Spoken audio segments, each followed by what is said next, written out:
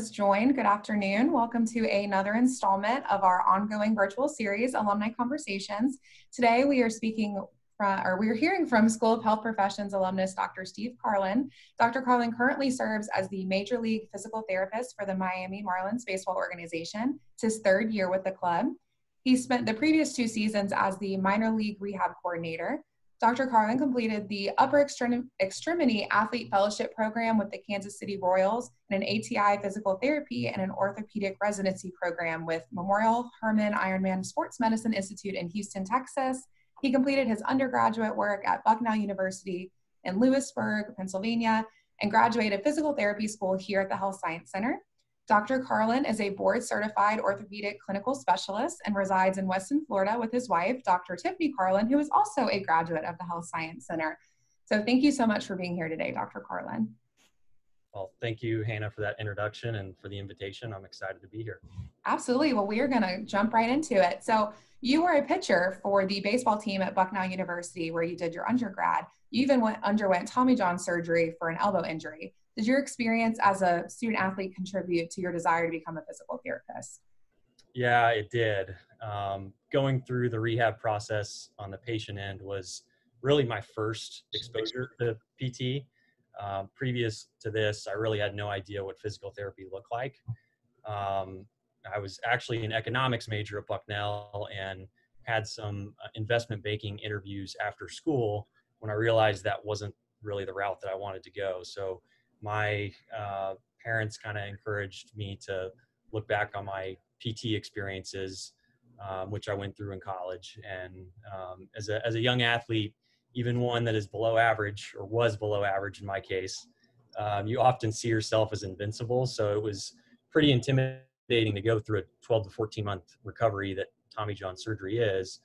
Um, and obviously, having a good surgery um, is critical. But you know, I really got to experience firsthand uh, the powerful impact that PT can have on a successful outcome. And from a from a patient perspective, something that really stood out to me during the process was just getting to observe my PT work and the other clinicians around him, um, and just the the different strategies that they implemented to get people moving better and feeling better and um, their vast knowledge base about uh, different pathologies, and I really got hooked on the positive energy in the clinic. Um, and you know the the goals and the tools that my therapist equipped me with with my programming even carried on after I was done with PT. Um, and I think that really helped shape the way that I practice today. Absolutely. And the economic banking world's loss is the Health Science Center's gain. We are happy to switch courses and, and came to the Health Science Center. So, on that note, why did you choose the UNT Health Science Center as the place to pursue your degree in physical therapy? Uh, to be completely honest, it was actually the only program that I got accepted to. So it was UNT that chose me, um, and it could not have worked out more in my favor. Um, but actually, one of my cousins, Lauren Herman, um, graduated from TCOM, um, and she mentioned to me that the school at the time was developing a new PT program um, and spoke very highly of the school in general. So I, I applied to UNT and got an interview. Um, it was one of the one of the few programs that actually had in-person interviews at the time, um, which gave me a chance to meet faculty, interact with current students, and just see this facilities and what the get a get a glimpse of what the experience would be like.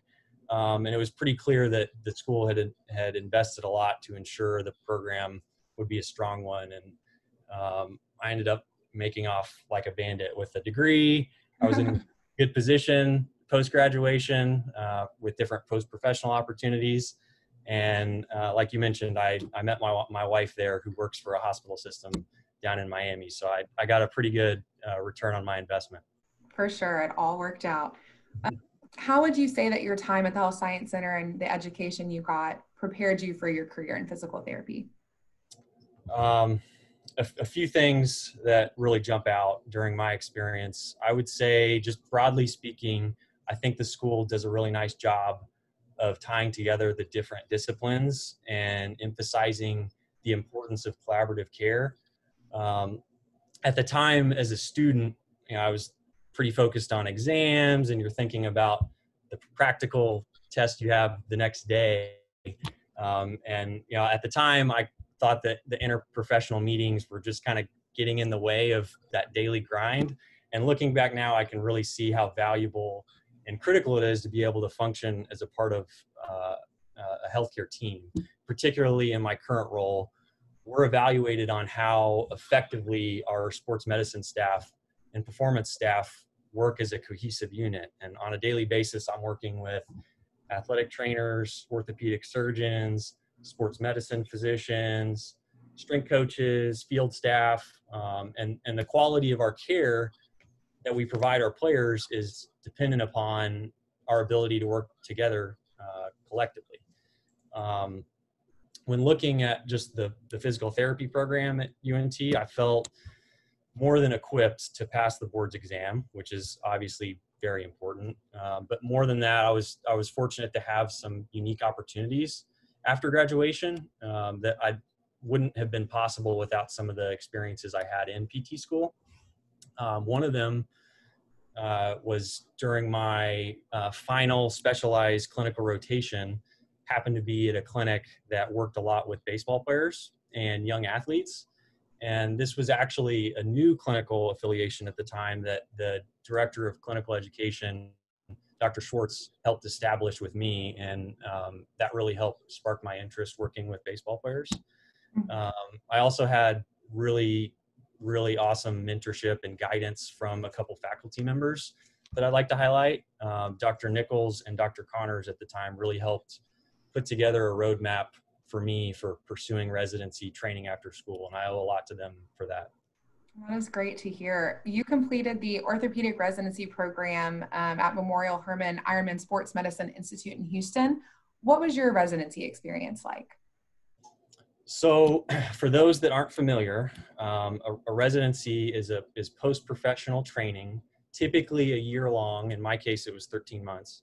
Um, and the, the program is aimed at developing advanced physical therapists within a defined area of practice.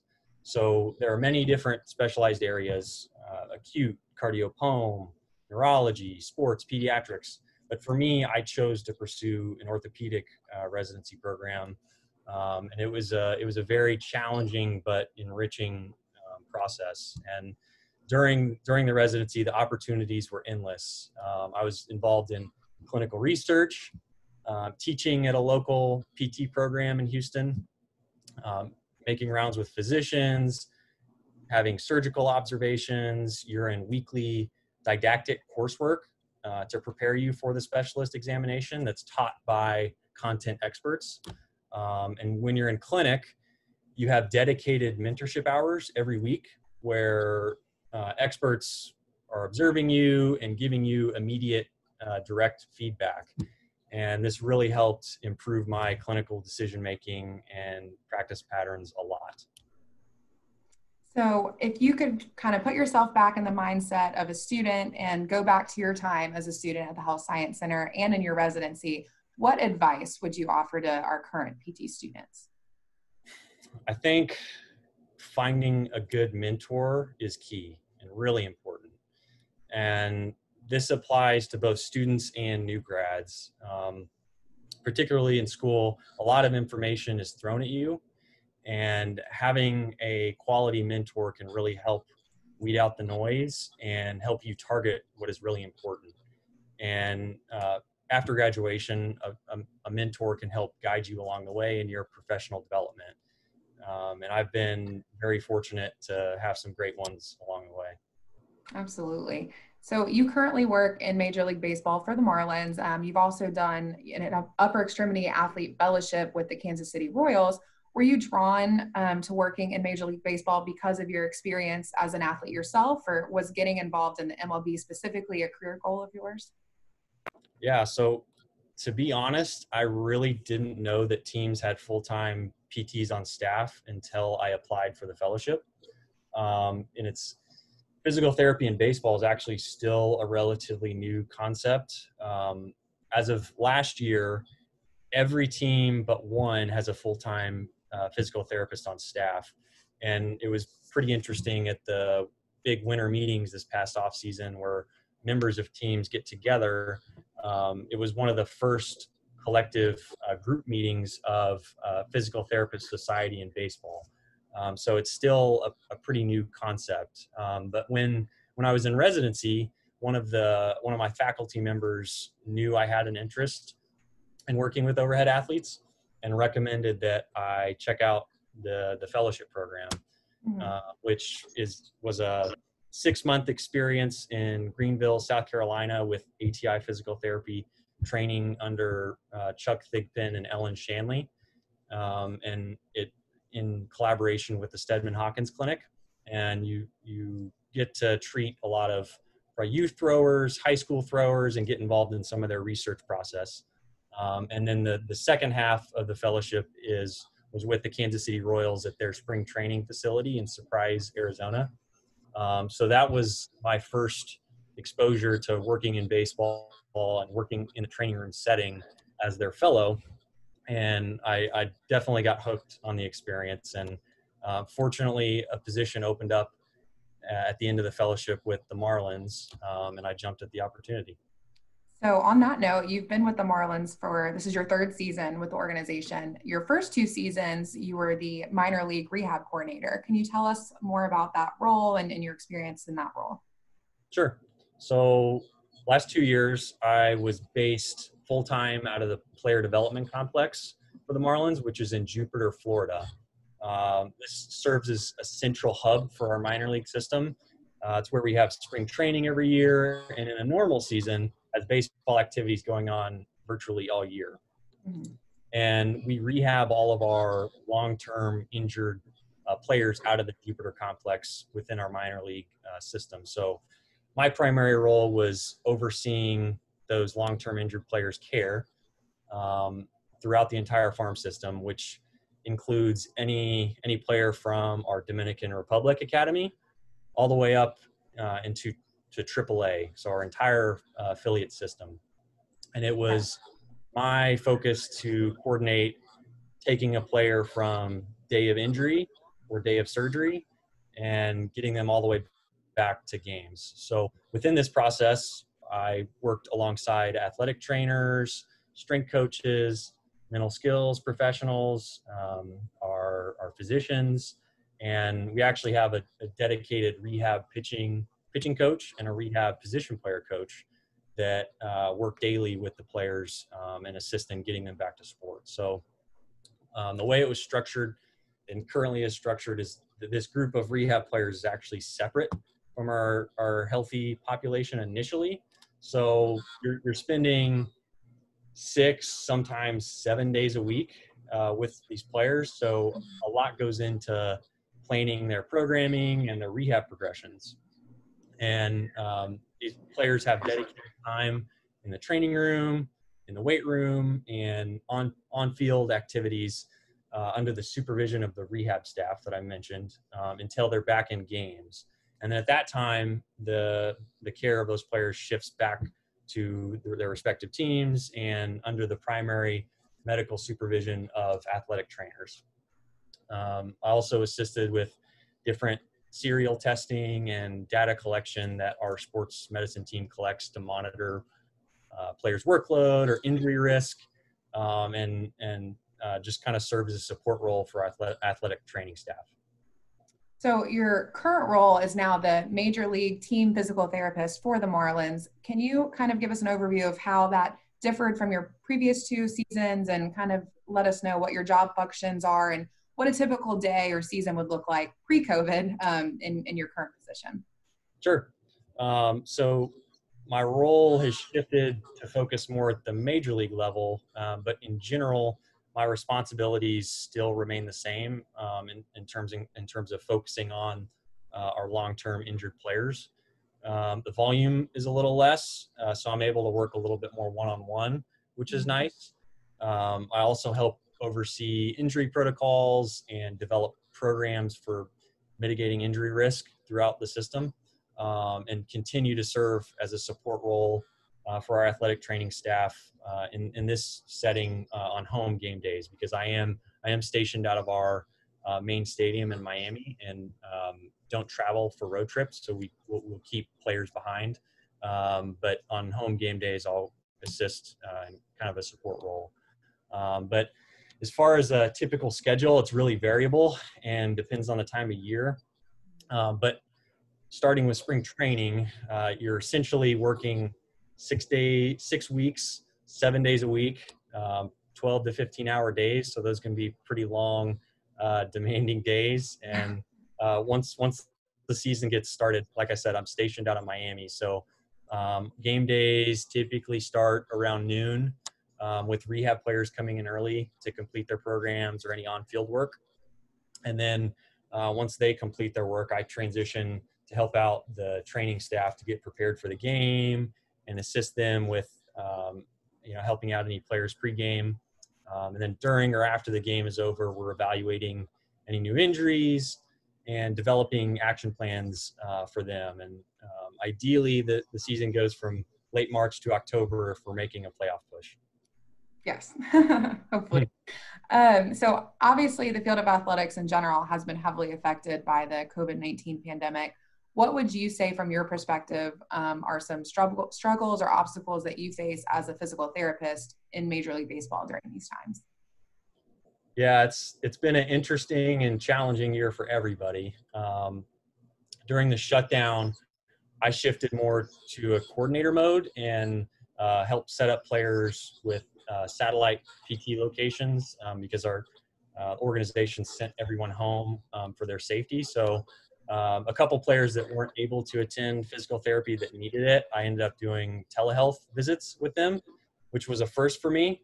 Um, and there was there was certainly a learning curve there. Um, but once once the players came back and were coming out of the shutdown, uh, one of our obvious concerns as a staff generally were that our players would be undertrained or ramp up too quickly for spring training 2.0. So um, we players and staff had to get pretty creative with identifying strategies for players to continue to maintain physical capacity at home and um, continue to get exposure to baseball activities during the shutdown. Um, and then once once the season resumed, um, you know the the schedule's been shortened, which has placed different demands on players um, with double headers and uh, less less off days. So you know we've as a staff had to really stay on top of ensuring that players are recovering uh, sufficiently. Mm-hmm. How would you say that COVID nineteen has maybe changed your your day to day, or just you know the the things that used to just be second nature that you would do every day that maybe have had to be altered during all of this? So that obviously uh, it's impacted everybody, and um, our schedule has changed quite a bit um, to ensure the safety of everyone. Um, frequent testing, and um, temperature checks has become the norm and part of the routine. Uh, we have limited time working with players on a daily basis, and there's also limited personnel allowed in the building. So we have to be pretty strategic with scheduling and our daily plan to, to be the most efficient with uh, with our time while still prioritizing safety. Um, so it's it's certainly changed things a lot, but we're very fortunate to have access to some of the resources that we do. Sure, absolutely. Um, so shifting kind of away from from COVID nineteen, what what advice would you give to anyone that is interested in getting involved in a career in sports medicine or working in the field of athletics? I think first, um, one must recognize, acknowledge that um, it can be a very rewarding job but it also can come with pretty pretty significant sacrifices um, in terms of working non-traditional hours, working holidays potentially, and it can it can make for some pretty long uh, days during the season. Um, my wife and I have made our fair share of cross-country adventures over the last few years, moving uh, from Arizona to Florida to South Carolina. So uh, it can it can have challenges from that aspect. Um, if you do know for sure it's what you want to do, I, I always encourage younger PTs to look into post professional training uh, after school. So, residency fellowship training, it's a great avenue to um, build your resume, improve your uh, clinical skills, and potentially get your foot in the door if um, if it's the if it's the route involved with sports. Um, some teams, even for students, offer clinical rotations or volunteer opportunities uh, during a normal season. So I, I would encourage um, students to, you know, uh, look look for opportunities such as that um, in, in, the future. And um, networking can also be a very powerful tool. Don't be afraid to respectfully and professionally reach out to medical staff members of teams if you know that's what you're interested in doing and um, pick their brain and learn learn about their jobs because there's a ton of variability in different sports and even different organizations within the same sport. Great advice. And you, you talked about how demanding the field of athletics can be in terms of your hours and you have to make sacrifices. So I know work life balance is something that I think all professionals and, and students struggle with. What are some things that you do to help kind of maintain that work life balance or or take a break and make sure that you know you're protecting your, your mental health and, and still you know giving it all to your job. Sure. Um, i'm very fortunate because i'm based out of my home city and i um, I, I don't travel with the team. So i i have the luxury of being home every night. Um, so that is extremely helpful. But um, i think just taking care of yourself you know making sure you're exercising eating right still having time for yourself throughout the day and um, strategic planning and preparation for the next day can always help uh, make sure you're getting you know that sufficient time for yourself and resting and recovering. Um, but i think going through uh, pt school and residency and fellowship training definitely helps prepare you for sleep deprivation and uh, being able to handle some of the challenges that can come with with the job so. Right. Well absolutely. Well i think that's probably advice that everyone can can heed. So thank you for that. Um, so we had some students and staff submit questions. So I'm going to go ahead and move on to those. And if anyone um, in the audience today wants to ask Dr. Carlin a question, please just put it in the chat and we will um, get to it um, toward the end. Um, so this came from one of our um, big baseball fans um, here on staff. he asked, MLB pitchers in the 1950s to 1980s didn't seem to worry about pitch counts and often pitched complete games. He even referenced Hall of Famer Bob Gibson, 34 starts in 1967 and 28 complete games. Um, today, there is strict monitoring of workload, and yet it seems pitchers experience more arm injuries than ever. Tommy John surgery is almost common. Did we not just hear about these injuries of yesterday, or, or what has changed since then? It's a really good question. Yeah. um, there's several factors here. Um, I think in today's game, generally speaking, peak fastball velocity and average fastball velocity is higher and has gradually increased over the last couple decades, which we know with uh, more velocity comes more stress on the medial elbow. Um, I think one of the biggest contributing factors now is early sport specialization with our youth baseball players and kids playing year-round baseball and just not getting a break. Um, that cumulative effect starting at those young ages really adds up um, over time, and I think is one of the one of the reasons why we do see we're seeing higher uh, Tommy John rates, particularly in our younger professional pitchers. Um, throwing to the radar gun, throwing harder at a younger age, um, attending scouting events in high school, um, using weighted balls incorrectly. These are all um, you know different factors that I think play into this complex problem. But um, I know Dr. Andrews is a really big advocate for uh, having dedicated time off from throwing for young kids. Um, so at least three months of consecutive time off from throwing um, for for young kids, and um, I know they've they've made a big push for addressing this uh, throwing injury ep- epidemic. Sure. Thank you for answering that. We are going to move on to our student submitted questions now. Um, first one is, do you work with all athletes on a preventative basis or just those who get injured?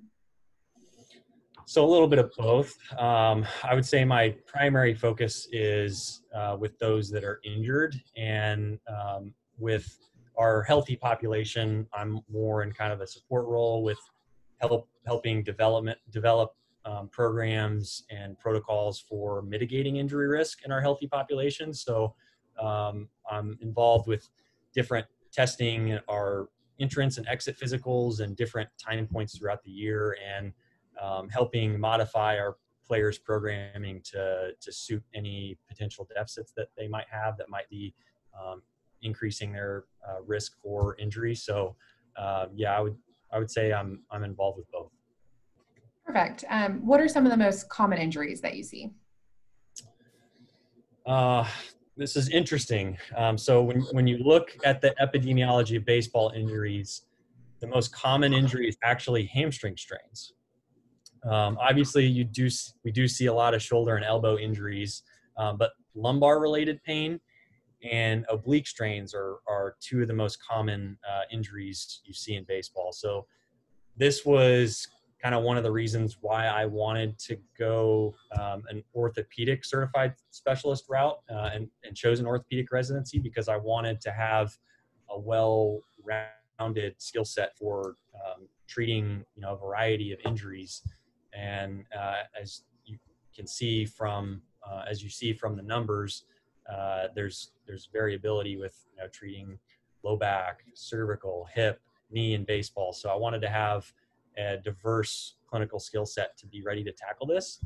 Um, but uh, when you when you look at uh, time loss injuries, so the the injuries with the the most significant amount of uh, contributing that results in uh, time missed from games, UCL injuries to the elbow um, are the most significant, and which is obvious due to the nature of throwing. Um, are there any other health professionals employed by the team, like a nutritionist, MD, et cetera, that, that you work with kind of consistently? Oh, yeah, definitely. So, um, full time staff, we have um, athletic trainers, we, we have two physical therapists on staff, um, uh, sports psychologists, both in uh, Miami and our Jupiter comp- complex. Uh, we have registered dietitians, um, we we contract with uh, the University of Miami, um, who helps oversee our medical care in Miami and throughout our entire system. So mm-hmm. several of their physicians help provide coverage for us and uh, are oversee um, the, the, medical care of our athletes. Um, so it's a yeah, we have a diverse um, interprofessional relationship with with uh, all the different professions. Sure. Kind of on that on that route, um, in what ways does your role on the team relate to or work with athletic trainers? Do you feel like you have to continually explain that there's a difference between you and an athletic trainer? Yeah, that's that's a good question. Um, it's a it's a highly collaborative process. So we each ro- own our respective skill areas. So for athletic trainers, owning the emergency care on the field, acute injury management, and taking care of the day-to-day tasks. And then for PTs and and um, within our organization, taking care of the subacute and the more medium to long-term injuries. Um, so it really comes down to um, kind of owning those two areas and then working col- collaboratively and collectively um, with each other. Um, I think I think both professions complement each other really well um, in that respect. But mm-hmm. um, sometimes, yeah, we do, do, have to explain the difference. Um, but uh, you know, it's it's uh, it's nice for players and uh, coaches or front office that may not be familiar with it to see us working um, together and um, get to see kind of what each brings to the table. Absolutely. Um, do you feel like you have a lot of pressure in your role to get athletes back on the field before they're ready? And, and how do you make those calls? Yeah, so for us, it is definitely a shared decision making process. There's not any one individual that's saying this person's ready. Um, mm-hmm. so with that regard, that it takes a lot of stress off the table because you know everyone everyone understands what the standards are for us. We're relying on objective, qualitative, and quantitative information to inform our decision making. Uh, we assess the player's psychological readiness and ensure they've built up enough baseball workload uh, before getting into games. And um, our medical staff, coaching staff, the player, front office, all come to a conclusion on you know whether or not the the player is is ready to go. So having everyone uh, bought in on that process and having an open dialogue and open communication goes a long mm-hmm. way with making sure um, you know, everyone's on the same page. Sure. And this is kind of a three part question, but all related. So um, we had students ask, how was the OCS certification process? What made you choose to get your OCS? And do you feel like that gave you an edge um, kind of on, on competition for, for job positions and things like that? Sure. So another aspect to doing residency training is that it's a fast track to specialization. So you're able to take, you're able to sit for your board's examination at the conclusion of a residency. Um, whereas if you just go out and work in a clinic, you have to accumulate enough work hours and meet certain criteria to be able to take a, uh, a specialist exam, which is typically takes a, a, a longer process. So for me, it it came down to either going to a sports residency or an orthopedic um, residency. And kind of like what I mentioned um, earlier, for me, I really wanted to invest in um, improving my clinical skills and clinical decision making and develop um, you know good practice patterns and i felt like an orthopedic residency for me with getting more time in the clinic and more dedicated mentorship time in that setting would fit my needs a little bit better Mm-hmm. Um, whereas going a, going a sports residency route, you get more exposure in the training room and with on-field management. And um, at the time, I didn't feel like I needed I needed that as much. Um, so having that residency training um, not only helped on the clinical aspect, but yes, also improved my competitiveness with getting into a fellowship one it's mm-hmm. mandatory. You have to you to get into the, that fellowship you have to have had residency training uh, previously. But mm-hmm. um, also would have opened up um, a lot of different doors for me um, from just having that experience and exposure. Absolutely. Well that is all the questions that we have. Um, thank you so much dr carlin for for being here. I know as someone who worked in athletics I, it was great to talk to someone else in the field. Um, Oh, actually, we just had a question come in. Um, question is, what if your, which you, I think you kind of covered this already, but um, in case students came in late, but what is your advice on getting involved in the sports realm as a student? Um, did you do, did you personally do any volunteering or shadowing as a student? I think you may have covered this, but if you want to just kind of recap. yeah, sure. So for me, my exposure in school was just on a clinical rotation. Uh, that I had uh, at the affiliation. They had uh, they treated a lot of athletes and throwers in the in the clinical setting.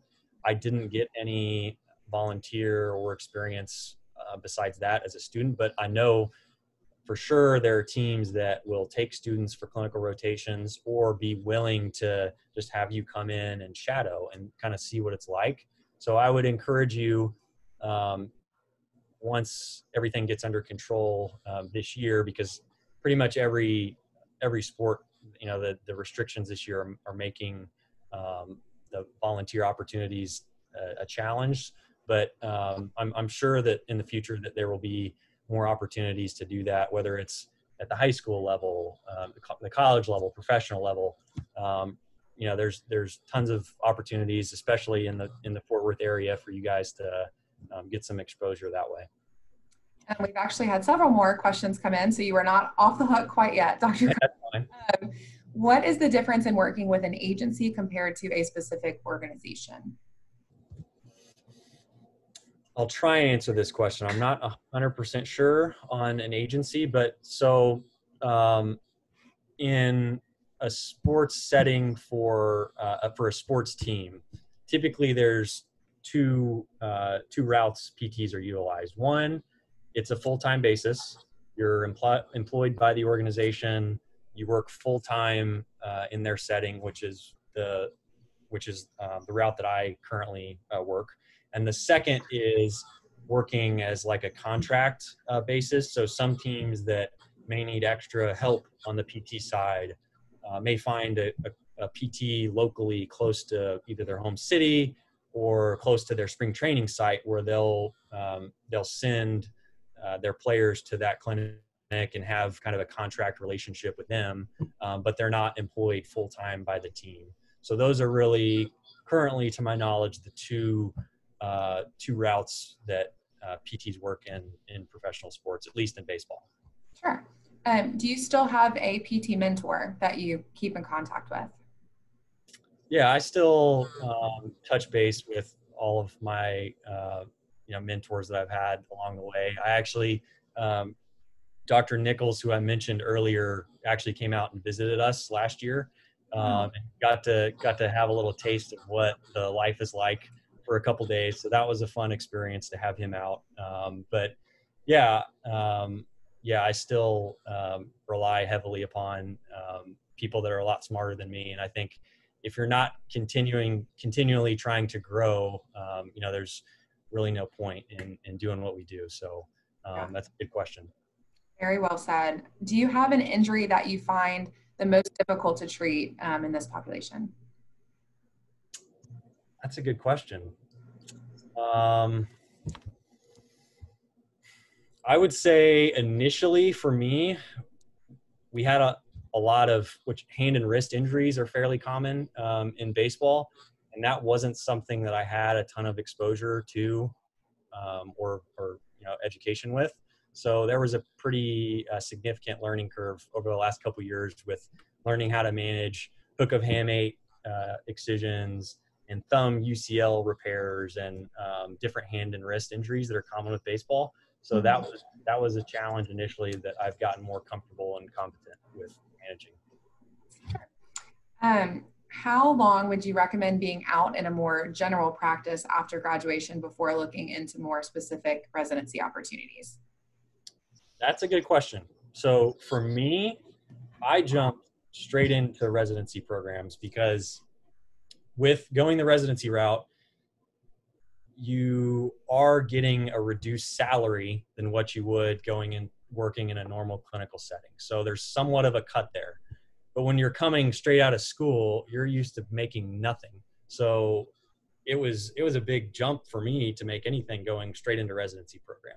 Um, when you're out in the clinic for a while, you you get used to that income coming in, and sometimes clinicians will jump to that with planning that they're going to come back and eventually complete a residency, and it can be a challenge at that time.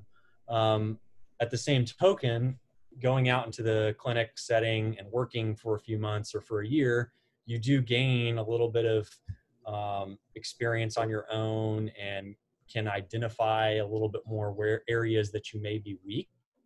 And you could go into a residency program in in a in a better position to know what you don't know.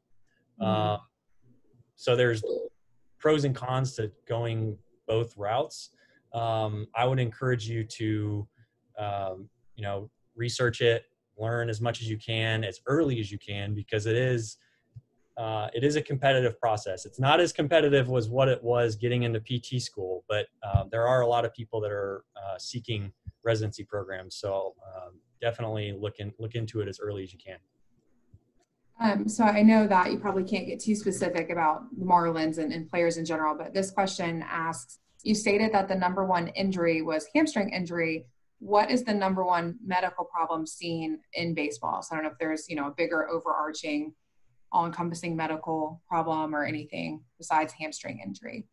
So that is hamstring injuries are the most common uh, orthopedic uh, injury. Um, so with obviously shoulder and elbow injuries are very common. They're one of the one of the top five injuries. Um, and then as I mentioned earlier, low back and oblique injuries are really common too. So um, you can see a, a, lot of variability with it and um, have to be comfortable treating different different injuries and different severity uh, of injuries too. Um, next question. I've noticed that most residency programs require an ATC or M- EMT certification. Is that something that you had before you applied? So that it applies to sports residency programs. You do have to have some emergency responder training before getting into a sports residency. Um, I know some sports residency programs actually offer that training before you uh, get into the residency. Every program is a little different. Mm-hmm. Um, but for me, the, I went the orthopedic residency route, which they, I don't believe that's changed, but um, at the time they don't require any extra um, emergency or athletic training experience. Um, that's just for the sports setting, which is more in uh, you're working in the training room and um, you will be doing some on-field emergency management. So that's why they require that um, EMT certification. But um, since graduating, I have taken some emergency responder courses. There's actually one that is now specific for athletics um, and uh, I believe it's it is that's what's required prior to getting in a residency program. So they just kind of um, package up the the emergency responder training that's needed for a physical therapist and make it into a three or four day course. Um, so it's it, it is it is uh, a valuable, really good course for anyone who's interested in uh, working in a sports setting. Absolutely. Well, I think I know I lied to you last time I said this, but I think that is officially all the questions that we have. Um, Dr. Carlin said he would stick around um, for a few minutes after. So if anyone does have another question or um, familiar face that wants to say hi, please feel free to stick around for a few minutes. But thank you so much, Dr. Carlin. I really appreciated you coming and talking to us today. It was really interesting, and I know I learned a lot. So thank you. Well, cool. Thank you very much for having me. Really appreciate it.